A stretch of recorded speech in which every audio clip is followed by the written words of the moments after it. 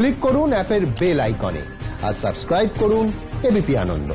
সব সময় থাকুন খবরে। মধ্যপ্রদেশের মুখ্যমন্ত্রী শিবরাজ সিং চৌহানের পর এবার কর্ণাটকের মুখ্যমন্ত্রী বিএস ইয়েদুরাপ্পা। করোনা আক্রান্ত হলেন আরও এক মুখ্যমন্ত্রী।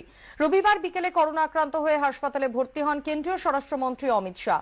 তার দ্রুত আরোগ্য কামনা করে টুইট করেন কর্ণাটকের মুখ্যমন্ত্রী। কয়েক ঘণ্টা যেতে না যেতেই সাতাত্তর বছর বয়সী ইয়েদুরাপ্পা টুইট করে তার নিজের করোনা আক্রান্ত হওয়ার কথা জানান। কর্ণাটকের মুখ্যমন্ত্রী টুইটারে লেখেন, আমার করোনা রিপোর্ট পজিটিভ। ভালো আছি, তবে চিকিৎসকদের পরামর্শে হাসপাতালে ভর্তি হয়েছি। গত কয়েকদিনে যারা আমার সংস্পর্শে এসেছেন তাদের কোয়ারেন্টাইনে থাকার অনুরোধ করছি।